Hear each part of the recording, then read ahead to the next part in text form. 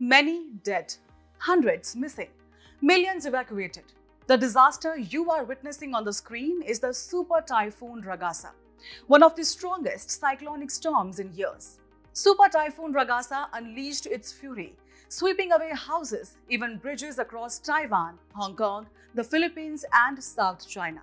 And from space, a NASA astronaut shared these haunting images from the International Space Station. But what exactly is a super typhoon?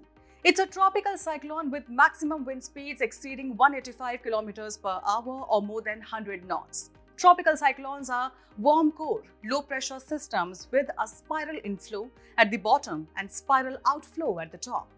They always form over oceans where the sea surface temperature exceeds 26 degrees Celsius and usually develop at latitudes greater than 5 degree from the equator.